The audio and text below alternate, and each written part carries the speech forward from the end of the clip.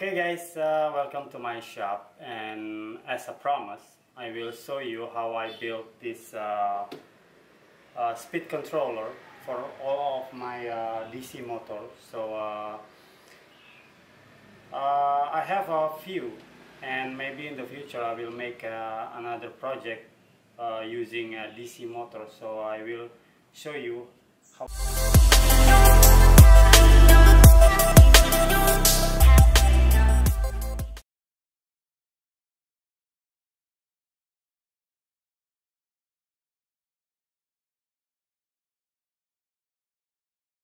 okay now we're going to the part that we need.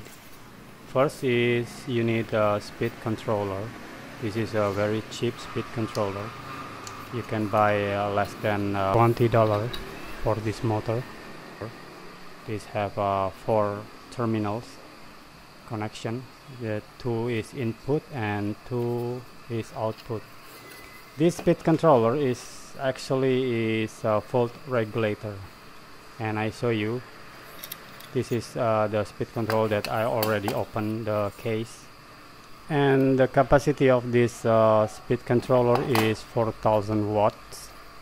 So uh, there is uh, a lot of uh, different capacity you can order that to uh, 2000 watts. And in this case I'm using 4000 watts. I recommend you using larger capacity for this uh, speed controller then you need it. Okay the next part is going to be this uh, rectifier diode. This rectifier diode have a four leg. This is two leg is input from the speed controller that is AC you can see the marking the AC marking.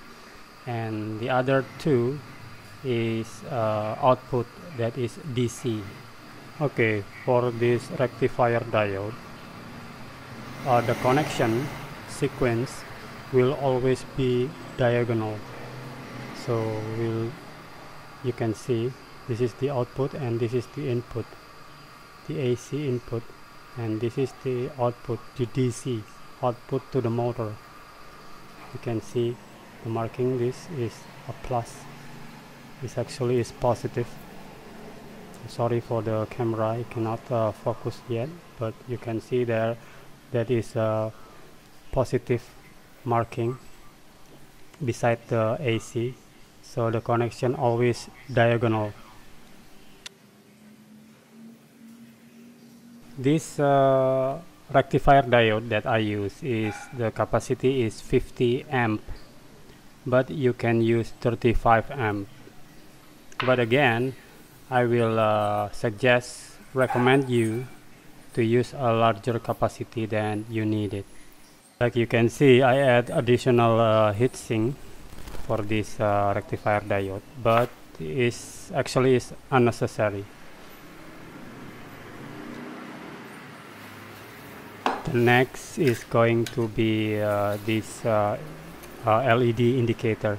So I use this for a lot of my tool that when I'm uh, plugged into uh, the wall socket the power line so uh, this is going to be turned on. That is indicate me that the power is standby. Okay the next is the toggle switch. I use this uh, toggle switch. It's actually is uh, change polarity toggle switch but I will use it as uh, the ordinary uh, switch. So uh, this toggle switch when the switch is off this switch is off is going to be turned on the light LED LED indicator. So when this turn on it's going to be uh, supply the power to the speed controller and turn off the LED light this toggle switch is actually this on on switch. So you cannot turn off just uh, switching the position. So this is a on on toggle switch. Okay the next step we're going to wiring all these components together. So please watch closely so you don't have to make mistake with this uh, wiring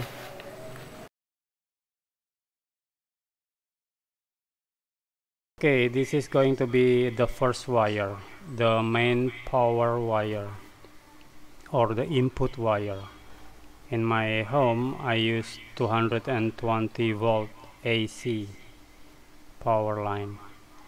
So I will put in the middle of this uh, toggle switch because this is the input wire. And after that I just soldered this uh, wire to the toggle switch.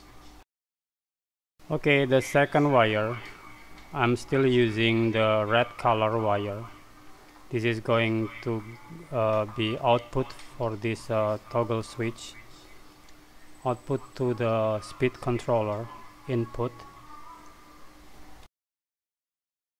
Okay like you can see uh, the input wire is already uh, attached to this toggle switch in the center of this uh, toggle switch and the output wire. This is the output to the uh, speed controller.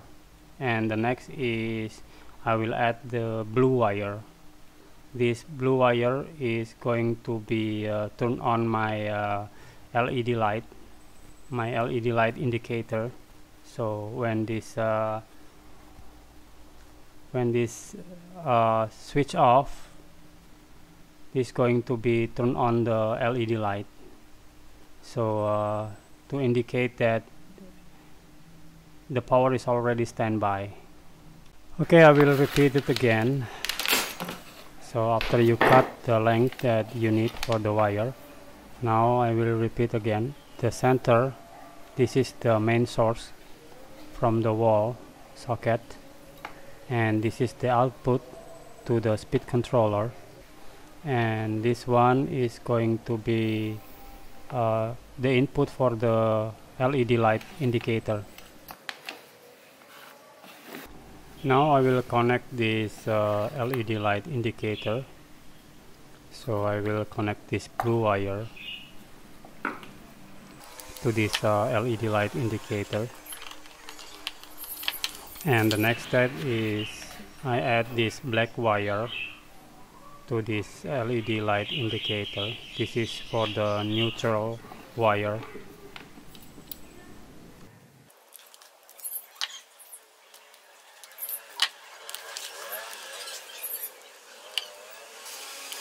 Now we're going to connect from the wall socket.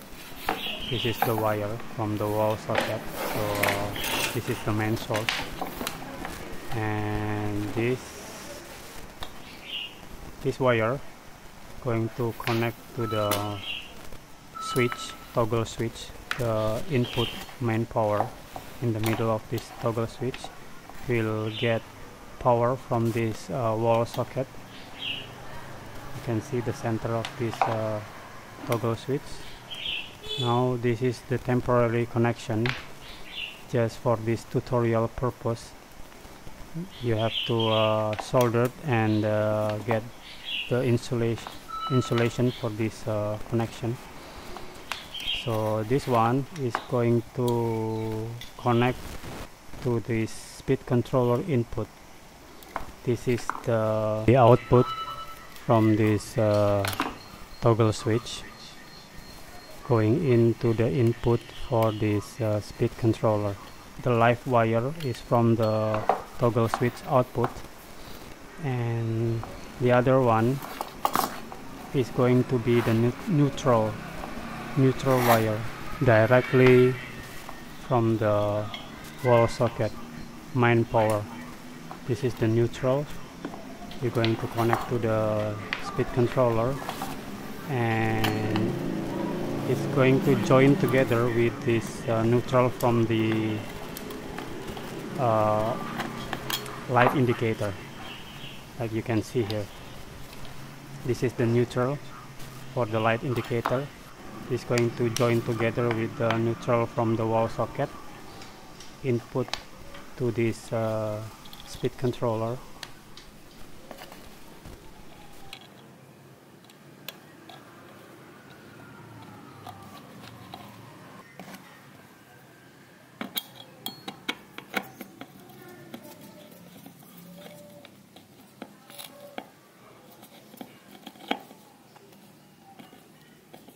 okay then. After this we're going to connect the output from this uh, speed controller to this uh, rectifier diode. I'm using this uh, short wire with the pin socket. I will attach this uh, the input AC from this I will connect to the output from the speed controller. And this is you can see the diagonal sequence. Now this is the neutral output from this uh, speed controller.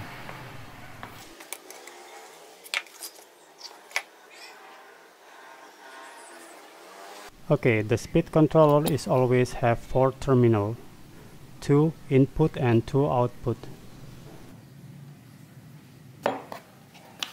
now we can connect the output from the speed controller to the rectifier diode. This output is still AC power.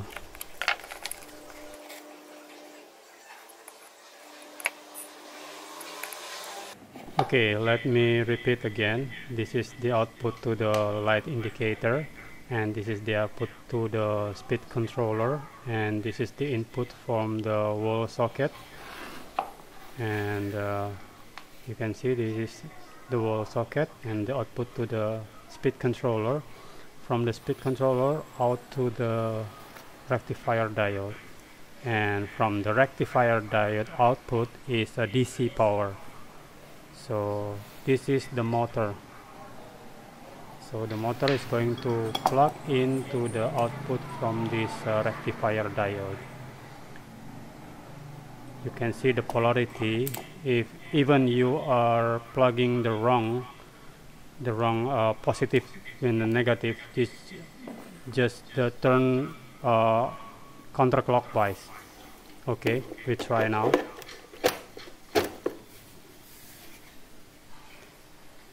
Like you can see the the power is already standby so this uh, light indicator is going to turn on. But uh, pretend this is a positive. This running in the middle of this uh, switch and uh, when this is off position so uh, the switch is going to connect with this uh, LED light. So when this off the LED light is turned on the uh, this is uh, indicator for me that the, the, the power is standby. So uh, when I turn it on, the switch turn it on. So the motor is already running. So you can check the motor is already running. You can hear the sound because uh, the switch is on. This is going to the switch controller. And so there is out. You can you can check the the volt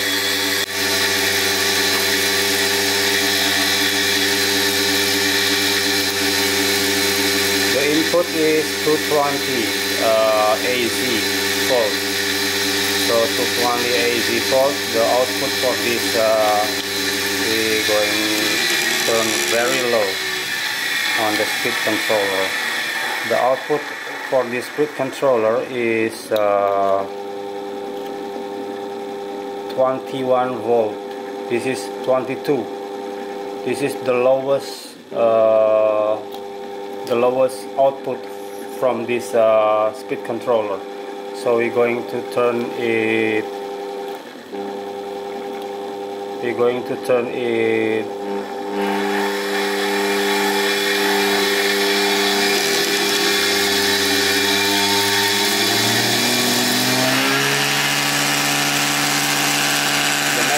is 215 volts. So when you uh, put this speed controller the output is going to be uh, less 5 volts less than the the actual uh, power input. Okay then. This is the rectifier diode. This is going to change the AC power to the DC power. So you can check here. This is the the motor is running from this uh, speed controller. So we're going to increase the speed.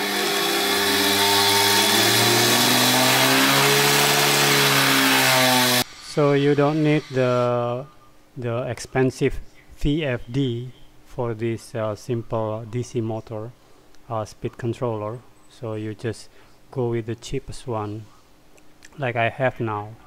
This is cheap. You can buy at Amazon or anyone anywhere and on the marketplace okay uh, in the future maybe I'm making a lot of uh, project using this uh, DC motor uh, such as uh, my uh, metal belt grinder metal version the 2x72 and also incoming project like table saw. I'm using the DC motor also 3 horsepower and um, oh yeah if you have any question about this uh, tutorial please write a comment and like if you like it and don't forget to subscribe if you haven't subscribed yet. And I will see you on my next project